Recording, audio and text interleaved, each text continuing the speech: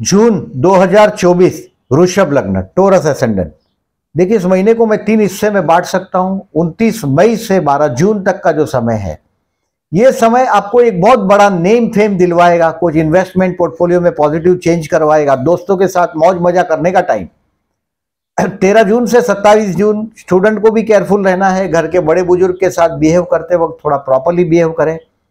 और कुछ शुभ कार्य के लिए खर्च होगा, तेरह जून से सत्तावीस जून में। और 28 जून से 12 जुलाई तक का जो टाइम है, ये आपके लिए कोई बहुत बड़ा नेम फेम की बात भी है इसमें। व्हीकल की मेनली बात है, कोई सुख, कोई समृद्धि की बात है।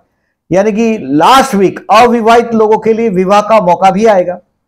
इन शॉर्ट ये महीना आपके दोस्तों के साथ ट्यूनिंग के लिए बेस्ट है। कोई बहुत बड़ा नाम फेम भी मिलेगा आपको। आपको इस महीने में केयरफुल रहना है। तेरह, चौदह, पंद्रह, अठारह, उन्नीस, बीस और उनतीस तीस। ये आठ दिन अगर आप केयरफुल रहते हैं तो बाकी के बाईस दिन आपके हैं। इन शॉर्ट ये महीना आपके लिए बहुत सारी खुशियाँ लेके आएगा। अविवाहित लोगों के लिए विवाह का मौका।